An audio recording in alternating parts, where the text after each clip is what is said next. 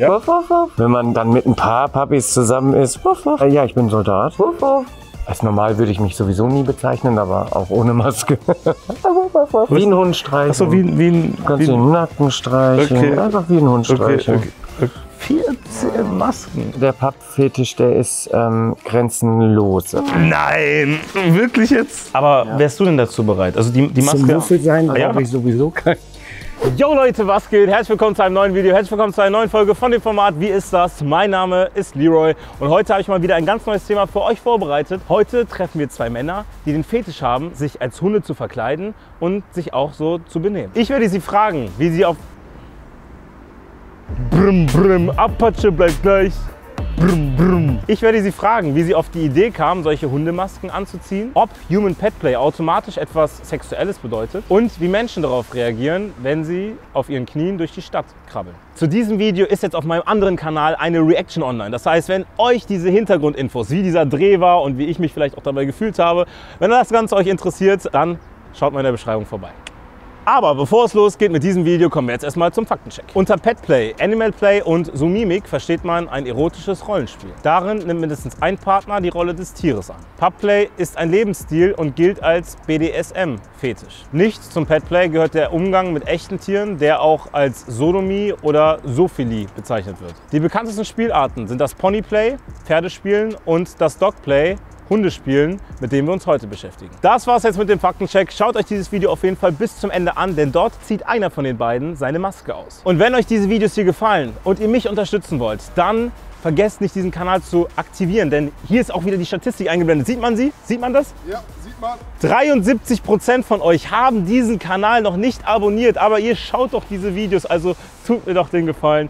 Aktiviert diesen Kanal, abonniert die Glocke und ich würde sagen, wir haben genug geredet. Wir gehen jetzt los und treffen Tali und Dexter.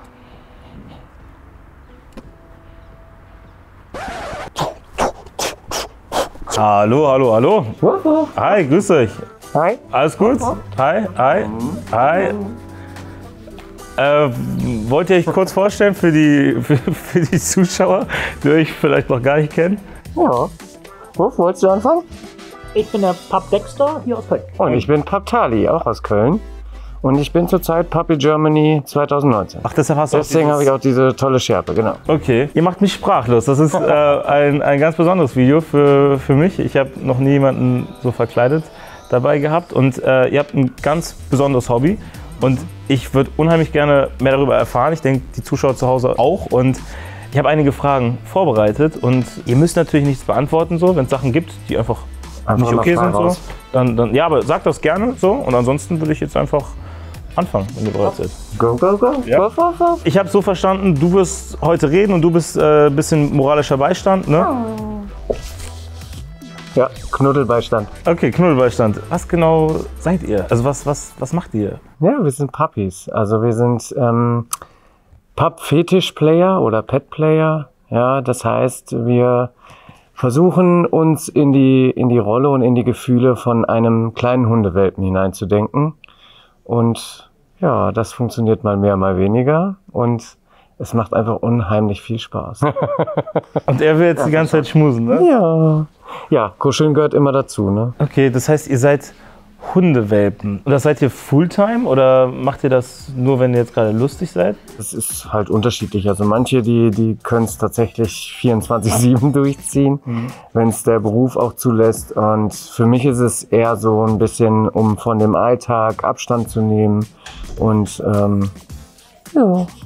Okay, Halt der, abzuschalten der Nick halt. zu, zustimmt, okay. Was, was machst du so in deinem Alltag? Was ist eigentlich so dein, dein Ding? Äh, ja, ich bin Soldat.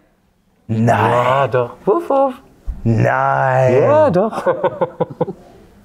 ja, und meine Vorgesetzten wissen es auch, also dass ich äh, Pet-Player bin und dass ich äh, den Fetisch halt auslebe. Was sagen deine, deine Mitsoldaten dazu? Wissen die das? Äh, ja, also manche schon, manche nein. Ähm, wie gesagt, also ich, ich hänge das jetzt nicht so groß an die Glocke so hier und renne da irgendwie mit der Maske rum, weil für mich ist es halt, das eine ist mein Beruf, das andere ist mein Privatleben und dementsprechend ist mir das, äh, ja, nicht wurscht, was denkt, aber naja. Okay. Jeder darf ja machen, was im Privaten, was er will. Ich bin zu, zu 100% bei dir. Das sage sag ich euch offen. Ich, ich finde es komplett skurril, also so ausgefallen. Also so ein, aber es ist halt auch ein Hobby, so wie, wie, wie viele anderen auch. Und bei euch ist es vielleicht sogar ein bisschen mehr, weil ihr das ja auch sehr viel Zeit in eurem, also es ist ja so eine, so eine zweite Persönlichkeit vielleicht, kann man das so? Ja, es ist ein bisschen eine Rolle. Es kommt ja ursprünglich, kam es ja aus dem ähm, BDSM, also dem Bondage- und ähm, Sadomaso-Fetischbereich. Also hat es auch was Sexuelles? ja. Also äh, für manche ja, für manche nein. Wie ist es bei dir? Also bei mir ist es auf jeden Fall was Sexuelles auch mit dabei. Also da komme ich auch ursprünglich her. Für dich auf gar keinen Fall? Das ist bei mir halt schon sehr, sehr lange her, wo ich in die Petplay-Schiene reingerutscht, also reingerutscht, rein, reingekommen bin. Man hat ähm, in den BDSM-Clubs dieses, äh, hast bestimmt schon mal gehört, Master Slave. So, Ja, ja, äh, ja. Der Meister und der, der Sklave. Genau, und ähm, da gab's halt ähm, dieses, ich sag jetzt mal, diesen, diesen Bereich, dass man halt auch ähm, als Herrchen und als Doggy so ein bisschen diese Beziehung aufgebaut hat. Ne? Und der Hund hat dann auf dem Boden äh, auf allen Vieren aus einem Napf sein Getränk äh, genommen, hat äh, sich halt dominieren lassen vom Härchen, ohne zu mucken, halt wie so ein Hund das halt manchmal auch tut. Ne? Dann kam irgendwann so diese Papi-Szene, so vor zwei, drei Jahren, vier Jahren, ist mir die halt das erste Mal so aufgefallen und da habe ich gesagt, ja, das ist, das ist genau das, was irgendwie gefehlt hat. Ähm, so das Denken, das Verhalten und das Fühlen wie ein Hund oder eine Welpe, ähm, das war ja bei mir immer noch irgendwo so da drin. Das ist irgendwie, das möchte man dann halt einfach. Aber man möchte nicht so dieses extrem dominante, dominierende, so dieses unterwürfige, das möchte man nicht. Man möchte einfach, ja, spielen, wuffeln, wie wir so schön sagen. Wofür? Okay. Ja, wir sagen immer so Ich, ich, ich habe jetzt gerade ganz genau zugehört. Nicht, nicht, dass ihr das falsch versteht. Das ist jetzt kein, kein kleiner Junge unter der Maske, sondern es ist ein erwachsener Mann. Äh, ich würde mal schätzen Mitte 40. Ich habe ihn gerade ohne Maske gesehen. Mit, Mitte 40, ir- irgendwo da, da in, in, in dem Bereich. Ich bin, ich bin 20, 22. So, das ist äh, für mich. Es, Ja.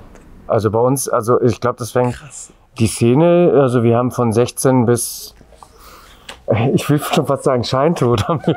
alles. Dabei, alles dabei. Ja, also in der Petplay-Szene ist eigentlich, also gerade für junge Leute ist, ähm, für junge Schwule ganz besonders oder ähm, Das wollte ich noch fragen. Seit, seit, seit, du hast gerade vom, von, davon geredet, dass du von einem Meister dominiert wurdest. Ähm, ist der Meister ein Mann gewesen oder eine ja, Frau? Ja, ja. Das heißt, Also- du bist auch, auch selber homosexuell. Ja, ich bin homosexuell, offen auch, aber ähm, da muss man aber auch sagen, dass ähm, gerade der Papi-Fetisch ähm, oder der Petplay-Fetisch allgemein halt überhaupt gar keinen ähm, Gender- oder Sexualitätsbezug hat. Also äh, ursprünglich klar kam es aus der, aus der Gay-Szene so heraus, aber inzwischen hat sich das so entwickelt, dass Gender-free, äh, age-free, will ich jetzt mal so in Anführungsstrichen sagen, ne? weil also wir machen da so ein bisschen die Grenze Ü16, sagen wir schon. Ähm, das äh, zum Reinschnuppern viele halt so auch die, die Maske halt auch nutzen, um einfach mal äh, einfach mal reinzuschnuppern, auch in die Fetischwelt, weil ähm, das ist halt ein, eine gute Gelegenheit, unter einer Maske versteckt halt ein bisschen in die Gay-Szene oder auch die Fetischszene reinzuschnuppern. Ne? Verstehe ich total, weil ja, wir haben auch schon mal eine Folge mit einem äh, homosexuellen Mann gedreht. Äh, die kann ich euch auch mal gerade in der Beschreibung verlinken. Es ist wirklich super interessant gewesen, weil er von seinem Outing gesprochen hat und wie schwer das ihm gefallen ist. Und jetzt beschreibst du, dass diese Maske eventuell die Möglichkeit gibt, leichter in sowas reinzukommen, leichter da auch Anschluss zu finden. Ich habe es jetzt auch gerade so verstanden, dass Jugendliche und auch junge Erwachsene euch auch angehen oder dass du aus der Richtung größere Ablehnung äh, em- empfindest? Gab es da irgendwie Situationen, die, die dich dazu gebracht haben oder wie kommst du darauf? Ich würde eher sagen, dass so diese Bereitschaft, äh, diese Ablehnung zu zeigen, eher bei, bei Jugendlichen oder jungen Heranwachsenden da ist. Also ich laufe sehr viel äh, mit der Maske auch durch die Gegend. Dementsprechend kriege ich halt äh, viel Reaktionen auch in der U-Bahn und so äh, kriege ich halt so diese Reaktionen halt mit. Also oftmals so dieses, erstmal der erste Moment ist so, äh, was ist denn das? Ja, ja, ja. was geht denn hier? Ne? Und dann, wenn man dann mit ein paar Puppies zusammen ist, wuff, wuff, dann äh, merkt man schon relativ schnell, dass äh, dann doch gemerkt wird, okay, da geht's irgendwo um Sexualität oder da geht's um, um einen Fetisch, um irgendwie etwas, ähm, was ja nicht Gesellschaftsnorm ist, sage ich jetzt mal. Ne? Also normal, als normal würde ich mich sowieso nie bezeichnen, aber auch ohne Maske. Nein, ich bin definitiv nicht normal, aber Ja, wer will schon, schon- wer will schon normal, normal? ja, und wer will schon normal? normal sein? Wo machst du, wo machst du, wo, wo, wo ziehst du die Grenze? Weißt du, das ist äh, Kann man gar nicht, Eben, ich, da, nee, no, das, das, das, dafür stehe ich ja auch immer ein. Wenn, wenn mir jemand sagt, ja, du bist nicht ganz normal, dann muss ich halt auch fragen, okay, wie sieht denn normal aus? Ganz wichtig ist an der Stelle, ihr könnt euch gerne euer eigenes Bild machen, dafür sind die beiden ja auch, auch heute hier. Aber bleibt respektvoll. Die beiden haben das Ganze freiwillig gemacht, die stehen freiwillig hier, so werden mit Sicherheit auch eure Fragen in den Kommentaren mal noch sich anschauen, das eine oder andere beantworten, aber Gerade deshalb nur konstruktiv. Wenn ihr, wenn ihr irgendwas dagegen habt, dann könnt ihr das auch äußern, aber konstruktiv, sodass die beiden was damit anfangen können. Die machen das letztendlich für uns. Ganz einfach so. Oh, da, sorry, habe ich. Der will nur gekuschelt und gestreichelt nur- werden. Okay, das heißt, mache mach ich das so. Ja, so wie ein Hund streicheln. Achso, wie, wie ein. Du kannst wie, den Nacken streicheln, Okay. einfach wie ein Hund streicheln. okay, okay. Das, ist, das ist eigentlich das, das Wichtigste, ne? Kekse und, und streicheln. Cookies, wuff, wuff.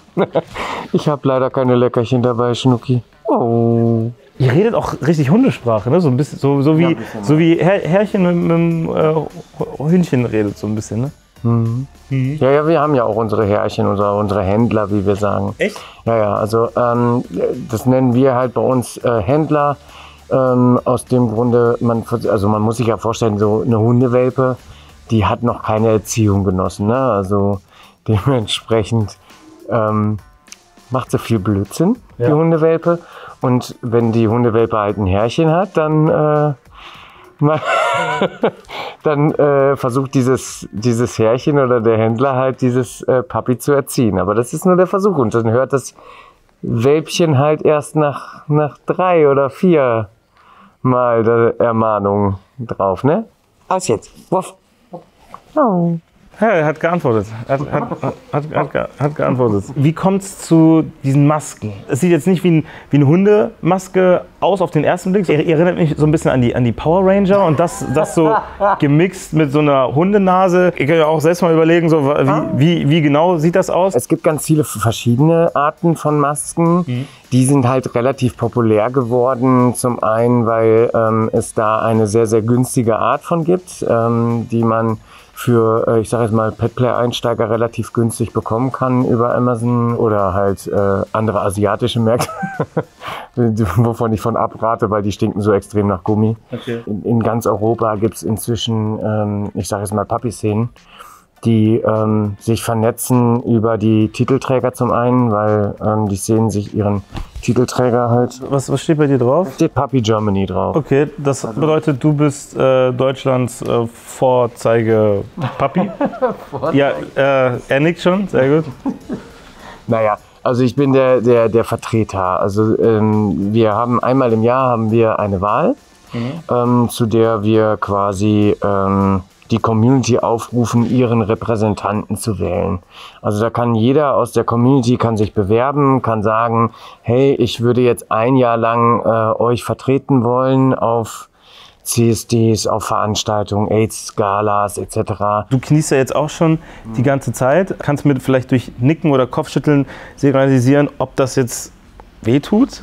Ein bisschen, okay, okay. Gibt es irgendwo Limits? Also ihr seid jetzt schwul, aber äh, gibt es da auch andere, andere Geschichten? Habt ihr irgendwo, äh, gibt es irgendwo eine Grenze? Nee, ich glaube, das ist, das ist das Schöne der Pappfetisch, der ist ähm, grenzenlos. Also wir haben Heteros, Transsexuelle, äh, Frauen, Mädels, Lesben, also LGBT, THQ, Sternchen und alles, also alles dabei äh, von Hetero, ne? Hetero-Wuffelchen und ähm, auch Handicaps sind, sind kein Problem. Also wir haben oftmals so Rollerpuppies dabei, die einfach im, im Rollstuhl halt als Papi mitfahren. Die heißen Roller, Roller, Rollerpuppies. Also ist so ein Begriff, wie ich den, die nenne. Ne? Also ich, Rollerpapi. ich, ich wäre jetzt mit der, mit der Maske welchen Roller. Oder wärst du ein Rollerpapi für mich, ja. Okay. Genau. Das ist also Grenzen, grenzenlos. Egal ob, ob dick, ob dünn, ob alt, ob jung. Egal ob du äh, auf Krücken, wir haben auch, äh, ne, hier der Ding ist der ähm, Papi Schweiz zum Beispiel, der Mr. Papi, bei denen ist es noch ein Mister, ist tatsächlich äh, auf Krücken unterwegs gewesen, bei seiner Wahl sogar. Also der, es ist ganz egal, ähm, grenzenfrei. Also es ist ja wirklich so ein, eher so ein Mental Thing. Also, dass du in deinem Kopf ja, versuchst, dich da reinzufühlen. Ich find's Hammer. Also, dass das, wenn, wenn da jeder mitmachen kann und es auch niemanden stört, wenn du jetzt was, was ganz Besonderes an dir hast, finde ich, find, find ich genial. Was ist so das, das Schönste? Also, so, ich merke, okay, das, das Kraulen, das macht äh, am, am meisten Spaß. So. Aber manchmal wackelt ihr auch so mit den, mit den, mit den Händen. Ne? Was, was hat es dann? Ja, genau. Genau das. Was, Ja, das ist, äh, ja, das ist so Männchen machen, ne? So, also es gibt, es gibt auch tatsächlich, äh, äh, ich sag jetzt mal Pappgier, wo die Pfoten zum Beispiel dann komplett, dass du keine, keine, keine Finger hast. Die sind die quasi eingesperrt, die Fäuste. Ach, das bindet man so wie, drum? wie, so ein, wie so eine Pfote hast, weil ein Hund hat ja keine Finger. Ja, So, ähm, und das definiert auch jeder für sich selbst, wie, wie tief er in diesen Headspace halt einsteigen will. Habt ihr, habt ihr jetzt auch, dass äh, hinter den Ohren so der, der, der beste Be Be Bereich ist? Oh ja. Nein, wirklich jetzt? Oh ja. Ja, das ist so. Also, es ist wie bei einer richtigen Welpe, wenn du richtig so äh, dich reinfühlen. Ja, alles gut. Das, das, Jetzt musst du natürlich weitermachen. ach so, ach so, weil, weil ich, weil ich auf, aufgehört habe. Okay. okay, okay. Nicht vergessen, ne? Das hier ist, das ist immer noch ein, ein, ein Mann, der vorhin einfach die, die Maske. Ne? Jetzt ist es ein Papi. Ja, ja, das ist, ist, jetzt gerade ist, ein- ist ein Papi. So, äh, sorry. Mit dem Mann habe ich mich gerade eben ganz, ganz normal unterhalten. Es ist so, es ist so, boom, plötzlich hat er die Maske auf und ich streiche ihn hinter dem Ohr hier. Und er ist total, total angetan. Das ist äh, verrückt, wirklich. Ja. Und gibt es gibt's irgendwie ein festes Outfit, weil du hast so ein bisschen was Ledernes an und äh, du bist eher so ein bisschen entspannt angezogen? Also ich lebe einfach Fetisch. Also es ist auch egal, ob es jetzt Rubber ist, ob es jetzt hier so PVC ist oder so. Ich lebe einfach für mich, fühle ich mich halt in den Klamotten wohl und im Alltag ähm, trage ich halt Fetisch. Also die Maske ist ein Einstieg, um irgendwo da reinzukommen in diesen Headspace, aber man braucht auch nicht die Maske unbedingt, um Papi zu sein. Ja. Ich vergesse die Maske ganz oft. Ja, das ist auch immer so schön, ne? wenn meine, meine äh, Rewe-Verkäuferin oder Kassiererin dann mal wieder sagt, ach, da, die ist wieder da, ja, weil so, hä, hä? Ja, Ja. habe ich mal wieder vergessen beim Einkaufen die Maske Ach so, abzusetzen. dann gehst du mit, dem, mit der Maske. Wie ist das? Äh, Du kannst doch so auch nicht in eine Bank gehen, oder? Das ist das Einzige, wo ich tatsächlich, aber das ist mir in München auch schon passiert. Also und dann tatsächlich mal wie, wie, alles angegangen. Da war ich in München auf einer Veranstaltung und ich musste noch schnell Geld holen. Und dann bin ich an den Automaten und da hatte tatsächlich ein Mitarbeiter gedacht, oh, jetzt, jetzt haben wir hier Alarm, Alarm, die Wurst sind warm, jetzt haben wir hier einen Bankraub. Und dann, dann hat der, also zumindest da, da habe ich die Maske ab und dann äh, war aber relativ schnell, also ka- kam keine Polizei oder so, aber es war schon sehr beeindruckend. Jetzt habe ich aber eine Frage und ich habe es eingangs schon mitbekommen. Äh, der Kollege da unten, der wird sich die Maske nicht vom Kopf ziehen. Aber wärst du denn dazu bereit? Also die, die Maske. Also ja, wie gesagt, also ich brauche zum Wuffel sein brauche ich sowieso kein, keinen. Normalerweise klimper ich immer, aber ich habe heute mein Halsband mal abgelegt. Äh, nee, also ich bin einfach ein ganz normaler Typ von nebenan. Ne? Jetzt könnt ihr mal den Moment sacken lassen. Jetzt seht ihr, wie der Mann unter der Maske aussieht. Bist du jetzt immer noch der Papi oder? Ja, also bei mir, bei mir ist halt das ein Teil der Persönlichkeit. Also von daher, ähm, ich bin beides. Hättet ihr das erwartet? Also, dass da jetzt ein, ein blonder Mann mit kurzen Haaren, blauen Augen und äh, gepflegtem Bart äh, neben ihr sitzt? Also, ich finde es ich find's wahnsinnig interessant. Nee, ja, ja, natürlich, natürlich ein bisschen, bisschen, bisschen geschockt, so, aber super auch, dass, dass du jetzt so, so, ne, so kannst jetzt immer erkannt werden auf, auf der Straße natürlich auch, aber Ähm, großen Respekt, Ich dass glaube, du mich dich. kennen die Leute auch. Ja, also kenn gerade in. Köln kennen mich schon viele. Also ja, also von daher wissen. Ach krass, die ist jetzt auch, die ist, die ist ein bisschen warm, ne? So, das, das, das, das, merkt man, ne? Ist Die- schon warm. Ja, die ist ja geschlossen. Ne? Ja. Also wie gesagt, das ist jetzt Neopren. Die gibt's aus Leder, die gibt's aus ähm, Gummi. Also ähm, in der Form, in Form, ähm, wo hier hinten halt offen ist, damit es nicht ganz so warm ist. Ähm, krasseste sind, wie gesagt, die Metallmasken, na, die dann auch richtig, richtig schwer sind und dann auch richtig gut ins Geld gehen können. Ach, das Ganze gibt es auch als Metall, okay. Ja, ja, okay. also- Und jetzt, jetzt stelle ich mir die Frage, äh, weil du eingangs gesagt hast, dass du Soldat bist, das, ist, das scheint aber völlig, völlig äh, reibungslos zu laufen, ne? Wie gesagt, also das eine ist mein Beruf und das andere ist halt mein, mein Privatleben. Und das trenne ich halt vollkommen voneinander. Also ähm, ich kann nur sagen, dass äh, mein ehemaliger Chef zum Beispiel auch mal angesprochen werden, worden war, ob er wüsste, was ich denn in meiner Freizeit tue. Und er einfach gesagt hat, ey, solange der hier einen geilen Job macht, ist mir das doch scheißegal, was der privat macht. Ja, eine und super ich glaub, Einstellung. ja, genau, und ich glaube, das fehlt manchen halt in unserer Gesellschaft und deswegen. Ja. Was mich abschließend interessieren würde, was würdest du anderen Puppies oder anderen bunten Vögeln da draußen raten? Weil du hast sehr viel Erfahrung schon in der Szene gesammelt, du hast sehr viel hinter dir. Was macht das Leben leichter? einfach du selbst sein oder ihr selbst sein, egal ob ihr jetzt Probleme mit Bodyshaming habt oder egal. Seid ihr selbst und ähm, wenn ihr Bock habt und äh, auch mal ausprobieren wollt, mit einer Maske ähm, Pubplay auszuprobieren, dann kann ich euch nur mal den, guck mal bei Fuß hier, euch den Flyer, ähm, den ähm, unser ehemaliger Pub Germany vom letzten Jahr halt entwickelt hat. Ähm, ähm, das ist ein Flyer, der das Human Pub Play einfach mal beschreibt und auch einfach mal, ähm, ich sag jetzt, ich sag immer, ich sag jetzt mal, ne, ähm, die Möglichkeit bietet, ähm, wie kannst du damit anfangen? Also einfach mal, für viele ist der Anfang erstmal einfach auf alle Viere gehen und rumzubellen, ist ja für manche schon ein kleines Problem. Und dieser Flyer, pubplay.de, ja, ähm, der, da ist der zu finden ähm, oder auch in vielen Lokalitäten inzwischen. Äh, in AIDS-Hilfen haben wir den ausliegen. Der hilft einfach mal zu ähm, realisieren, was ist Human Pub Play, wie kann ich damit anfangen, ähm, was gehört dazu, wie ist die Szene aufgebaut und ja, der hilft halt einfach. Und da sage ich einfach mal, guckt euch das an und ich würde mich freuen, einfach mal noch mehr von euch irgendwann betreuen zu dürfen oder mit euch über CSDs laufen zu dürfen. Und das macht einfach richtig viel Spaß. Super spannend. Ich muss gerade mal fragen, hat er, hat er die gerade im Mund gehabt? Sind das hier, sind das deine Bissspuren? Hey?